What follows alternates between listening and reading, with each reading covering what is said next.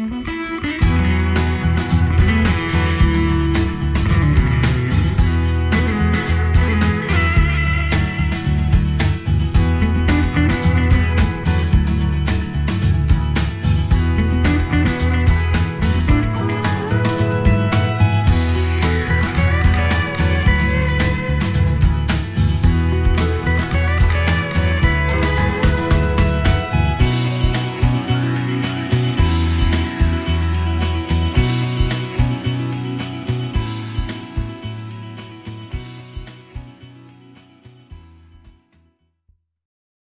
welcome to AIL TV, and most import- importantly, welcome to For You Too Magazine, live magazine. I am here as a facilitator. I'm not going to waste much of your time, but the lady who is in charge of For You Too Magazine is Sonia Kamara, and you're welcome to Sonia Kamara. The floor is yours. Welcome to For You Too News Mag. Thanks for that, Joseph. Joseph always says, oh, the person. But you know, it's not just me, it's actually a group community effort that's put together For You Too News Mag. The magazine is all about communities and it's all about you. We like to hear your news, your views. We want to hear your woes as well because sometimes things are not working out. And guess what? We want to hear about that. We see communities, we give communities voices. Today on the show, we are celebrating a few things, honouring a few things, and noting a few things. One of the things that we're celebrating is the fact that we have an organisation, Parents Together, that has managed to keep their service fluid and continue to work with parents and young people in the borough of Haringey. We have a director, the facilitator, a parent, and a young person who's going to be telling us all about the service. We're going to be talking about Mental Health Awareness Week because it is a week that um, is going to impact on lots of people, whether they realise it or not. We've got some spoken word from Haley. We've got Jesslyn giving us some fashion tips. And in between all of that, we really want to hear what you, the community, are saying. But let me start because we know I've got a time constraint. Let me go straight over to the individuals from Parents Together and I'm very pleased to have Royston John, who's a director, NCBI training, June Toot, I hope I said your name right, June, who's a facilitator for the group. And we have um, Oshola as well, Adi K with us. And we've got Young St. Hilaire, who are all part of Parents Together. So first of all, welcome um, guys to this uh, meeting. We're uh, respecting social distancing, so everybody's in their right place, not breaking any rules. Yeah. Um, so welcome. Thank you very much for being part of the show. Thank you. Really delighted to be part of part of this movement going forward. And you know, whilst we're in lockdown, there are some major benefits that's come out of it.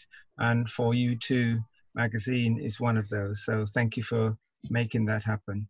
Okay, no, thank you as well. But what I wanted to start with, I, I read something that said that pure, poor, poorer pupils are worse affected by school closures amid rows over the reopening of schools. We know there's a big row going on. Um, and I saw something that said, on average, the the state schools that lower income children are from are less likely to provide online classes or other interactive services. And I wanted to um, touch on that a bit when I get into the conversation with you. Sure. Um, also, that there's a report from the Education Policy Institute that's made quite a few recommendations because it seems that children from poorer backgrounds are falling behind with this lockdown. Oh, no. That we've got a young person in the space. But I wanted you, uh, Royston, to talk about how parents parents together started um, you know, what exactly are you about? Um, and then we can ask the parent, the young person, and a facilitator literally how you've managed to, first and foremost, I've got to say, Testament, move the program online, because that's mm-hmm. one thing that's been quite difficult. Lots of programs are no longer operating, schools are closed. So tell us about that. So, firstly, NCBI as an organization has actually been in existence for 36 years um, doing work across communities. And Um, I started NCBI in London 18 years ago, and um, we do work around people and emotional intelligence and have done a number of work with adults and worked in schools with young people. So Parents Together is a combination of bringing the experience of working with adults and the experience of working with young people to, to build that bridge. A lot of parents are finding now in lockdown that um, they are not quite together as they thought they were because they're in the same space for 24 hours. Um, the framework of going to school or going to work means that we can exhale and only have to hold our breath from the you know between 5 and 10 at night you know um, now we have to hold our breath 24 hours and it's a struggle on both sides because we haven't really learned um, as well as we could how to you know parent how to support each other. And to some extent we've seen teachers and um, i hate that cliche but the state playing a part in bringing up our children for better or for worse. Now we have a chance as parents to actually influence the outcome and development of our children. And some parents don't know how to do that so well that's really interesting because there's also a new report from the institute for fiscal studies that shows that children from wealthier families are spending 30% more time each day on home learning mm-hmm. with poor, poorer peers. And that means this, this statement says that by the 1st of June, which is just around the corner, yeah. disadvantaged pupils would have spent an average a week and a half less time studying than wealthier children. Yeah. Hmm. Children in lower income households are less likely, one of the reasons they're saying is because they're less likely to have their own schoolwork, own space to do schoolwork. Yeah. Less likely to have a computer or tablet to use for school. So that's Absolutely. a lot of the points that you've just made. So yes. I just wanted to ask June, as a facilitator, how, how are you facilitating this program with young people? With young people or families? With families. Um, yeah. So how we're doing that, we're going through via a Zoom. And even for myself, um, learning to use the computer has been a challenge because I have too long avoided using the um, that type of technology. So we're using Zoom meetings, and um, some people are trying to get on through by, via their phones. So slowly, slowly, everybody's everybody's um, getting there. We're just teaching each other really. So we, we so we so we adapt the program through slides, um, PowerPoint, and and discussion. Yeah. So there's also an added logistics with that because in the room, from time to time, we'll give them a handout that we use to discuss. Mm. Now that handout, we say we'll send you an email or we'll um, put it in the chat and you can download it. But of course, those parents who've logged on on their phone, because that's the only methodology they have, it's a struggle. They, they just can't manage that technology by phone. They need a computer. So the shortage of funds and money and support means that the parents are struggling, and indeed the children are struggling with the schoolwork because they can't download the things that they need to download. And add to that, many don't have a printer at home, in order to print out the work and and and do that work. Now, and what you've just said because one thing that covid-19 has actually flagged up red flags all the way is that the digital disadvantage are real. Mm-hmm. a lot of people that cannot be involved in crucial things because they don't have the resource yeah. so, charlotte as a parent what, what's mm-hmm. your involvement been with the program from a parenting point of view well, my involvement has been uh, wanting to learn. Um, you know, my children are actually older now, but I, I have grandchildren. And I wanted to make sure that not only could I, um, you know, relate in in more positive ways, ways which are not related to the way in which I was brought up, which was kind of with the stick, um, ways which are enhancing for the self-esteem and the emotional intelligence of those young people. And I found through NCBI that there's a, a series of techniques that have been really expertly shared that have enabled me to actually reflect. You know, I think that the most important thing that I've learned has been that to to reflect because a lot of emphasis has been placed upon what is it that me myself what do we ourselves um, what is it about us that either enhances or inhibits the the learning of our children? What you're saying about the the digital disadvantage it's real. I mean i work in the school and i know that lots of the children who we want to work with and to do online programs with, they can't access them because they don't have the technology. And, and does that lead into people actually being missing out on, on schooling? Because some of the children that we know we're dealing with in Haringey, they have they face all sorts of challenges from the start. You know, exclusions. Mm-hmm. some of them have, have to rely on um, school meals. You know, they fit into a category that needs support. So with the closure of schools, is that having an additional impact on their, their learning?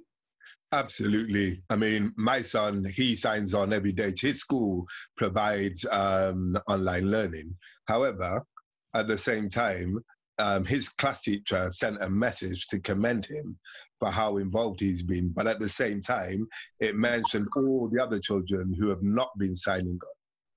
You know, so definitely there's a disadvantage. Mm. There is. So on the word disadvantage, not that we we're not talking. We want to talk to the young person because the world belongs to you. We're just custodians. We're here to look after you. So St Hilaire, can you tell us about how how the closure of school and home learning and parenting together has helped you? Um, so, in terms of school closing, people could say that the year 11 students who are just finishing have a harder time but I think it would be my year, which would be year 10, because we're basically teaching ourselves right now. So for those people who don't have a computer, don't have anywhere to access it, they're missing out on so many things because the teachers are saying they don't know if they're going to have enough time to reteach us the stuff that we've had to teach ourselves. So they're saying that if you if you don't have a computer now and you can't catch up, there's no guarantees that when we go back to school, you're going to be able to learn it. There's so no guarantee, and that's actually what yeah. the teachers saying. Yeah, the teachers they don't know at this at this point in time whether we're going to have to do the re redo the year again or if they're going to have to teach us the bits so in year 11 instead of going over the things we're going to have to learn them basically right. so instead of having to go over it so if we can't teach ourselves now if people don't have the equipment to teach themselves now they're basically missing out on all those things they missed out on everything until we go back to school mm-hmm. and the problems with logging in sometimes people can't log into the stuff because the way our school is set up, you have to do it through your Heartlands email.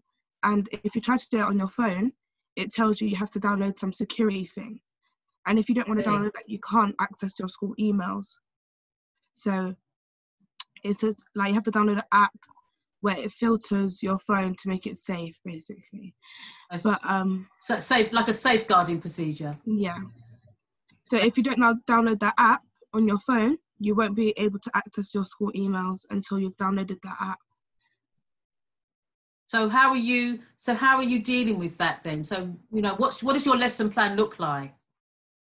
So, well, with us, our with my school, my tutor, she sent out like a school rota. So you just put your lessons on, what lessons you have, and you say what day you're going to do them, and then we weekly have uh, meetings on Zoom to say what we've done how much we've done of it, and if we haven't done it, like there's a like we email the teacher and explain why we haven't done it, and they normally give us like extra time. I see. Okay, well, you know, Cecilia, what you've just saying that's really interesting because Haringey, these figures are from uh, the the Haringey at a glance, an official document that was, printed, that was actually published November 2019. And one of the things they say Haringey, this was before COVID 19, ranked 65th in England for GCSE attainments out of 150 local authorities. Now, it says the borough has improved considerably since its 2015 rank, which was 105. So you can see that the attainment has really sub- jumped up substantially. And listening to what St. Hilaire said, there's definitely going to be a challenge for young people you know, to, to continue their learning with these restrictions. So how how how are we as um, uh, Royston, how, for parents together? What advice are we giving parents to assist their their their children, you know, young people to continue learning? I mean, what what what what help is there out there for them? Well, um, the parents have got to do the best they can. Um, to if you don't have the internet, then you know you get a book and try to keep your children reading, try to keep their mind open, try to sit with them and be proactive with them, play with them around activities to help them move forward. Um, the sad thing is that all the computers exist, the computers are in the school, the school's locked, and the students at home, the, the very computers that they need is locked up in the building. Not accessible. Yeah, for the last seven weeks. And the logic was open a building, let the children have the computer for seven weeks at home. They That's can, a good idea. So Yeah. what's happened with that? you know, and it's amazing that it, that hasn't happened. And as far as I'm aware, it hasn't happened anywhere. You know, instead we're saying, well, um, the, ch- the students haven't signed on. You know, they haven't signed on because they don't have the means. You know, and you think about Zoom is a relatively easy platform, and how many people struggle to sign on to Zoom, let alone an online learning um, structure. You Yeah. know, Mm. um, so it's it's set up to fail. Um, the the poor and the disadvantaged. Yeah. Economical terms, time terms, access, all of those things are stacked against them. against people that are so Shola, I wanted to I know that you do a lot of work with um, young people um, who, who who are not in mainstream education. I know that Mhm. you're you're you've been dedicated to that. Um, Mhm. actually, it says that in Haringey there's substantially there's substantial attainment gaps between different demographic groups. Black boys have the lowest attainment of all ethnic and gender, and gender groups, 52% attained, 9 to 4 in English and maths, compared to mixed ethnic, um, ethnicity females who have the highest attainment with 80% achievements, which is really good, interesting, 9 to 4 in English and maths.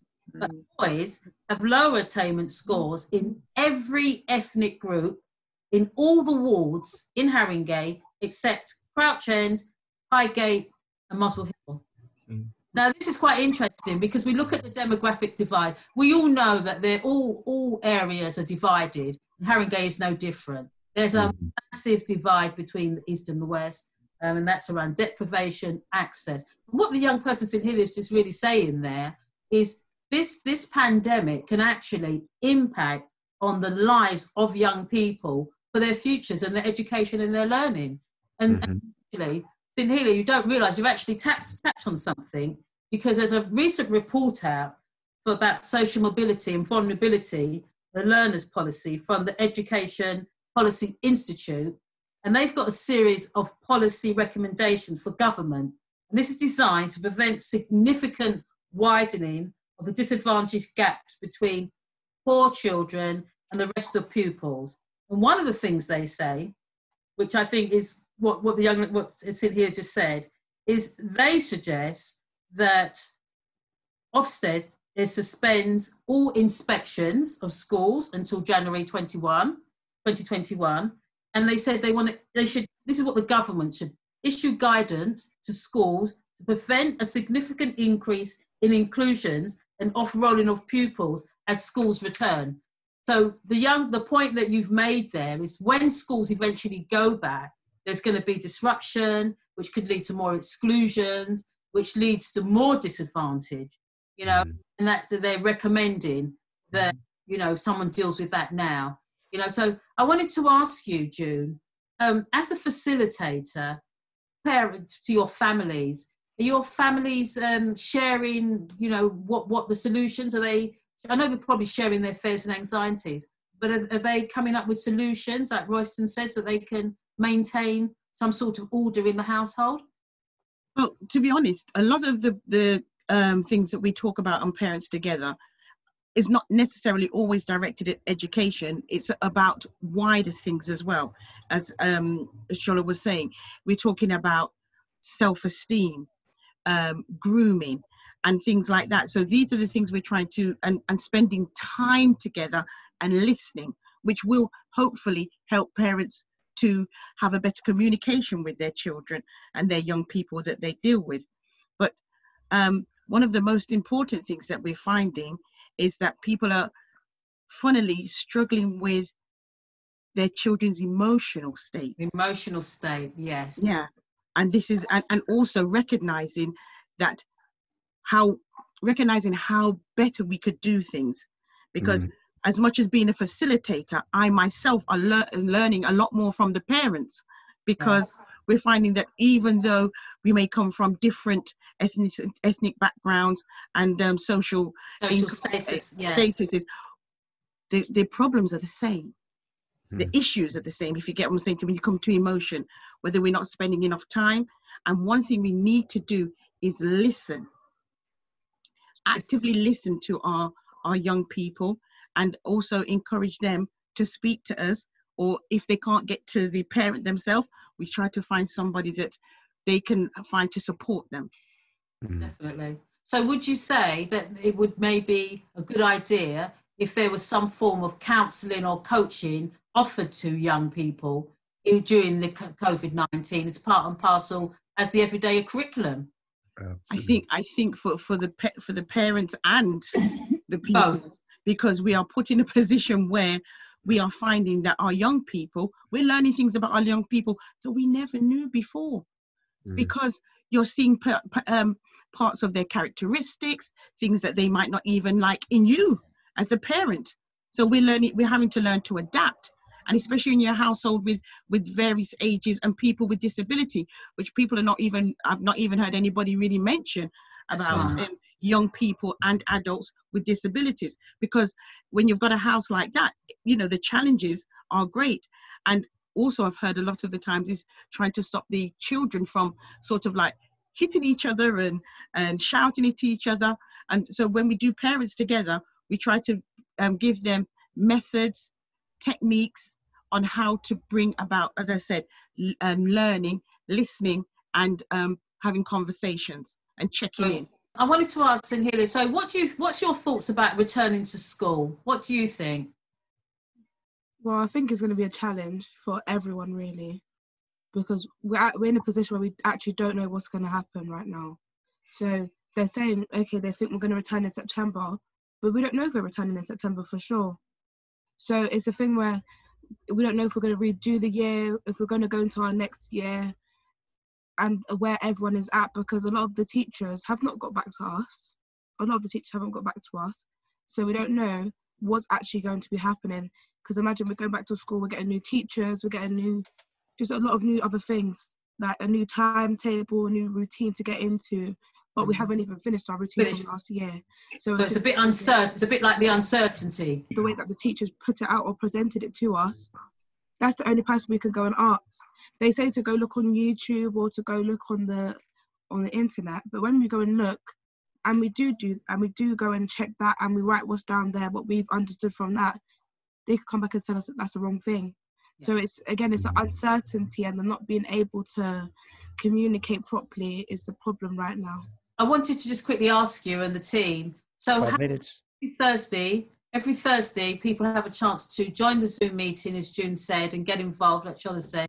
So Yes. interest in learning. So can you just let everybody know how they can get in touch with parents together and join your platform because there's valuable support and signposting and and you know, and really the support that's going on there, which we know people are interested to get involved. So can you share your details with us, please? Sure. Um, I'll share my number and June will share hers. But let me just say that whilst Parents Together is two hours on Thursday, um, literally every day this week, Sunday, Monday, Tuesday, Wednesday, and Thursday, I've been speaking to parents about some aspect of um, things that's going on. One of those, there are four generations of stuff that's happening and impacting that I'm in dialogue and conversation with the parents um, about how to go forward.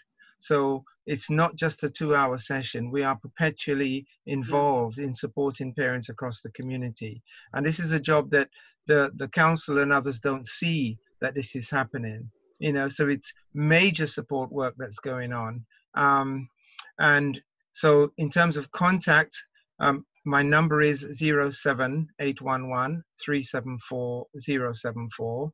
07811 374 074. Email royston at rdjconsulting.co.uk. So royston rdjconsulting.co.uk. And June's number? My number is 07958 750 200. That's 07958 750 200. That's And we will we will then send people the link and invite them in And invite um, them in. That's really good. You know, I really want you to keep up the good work. You know, people come back to us and ask us for information. We're happy to share and signpost.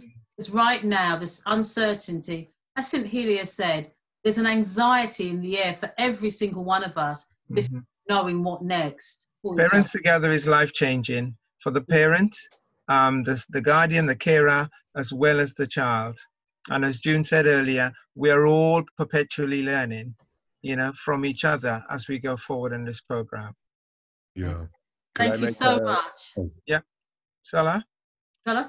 just to say quickly that in relation to what Santilia was saying, um, the fact that parents, through parents together, are spending more time with their children means that they understand the problem. Rather than blaming the child for not studying, they can see why the child is not The able challenge. to the challenge. And then also, the parents can be challenged to help the child to learn and also link with other parents who are also going through the Parents Together program so that they can help as a group rather than just trying to get through themselves. So its impact is quite phenomenal in different ways. Oh, thank you so much. So we've got the team from NCBI, Parents Together, Royston, June, Shola, and St. Hilia. Thank you so much for being part of the For You Too. It's a date, and we're going to make sure that individuals join in the program so that parents can get support. Thank you. Thank you. Thank you for having us.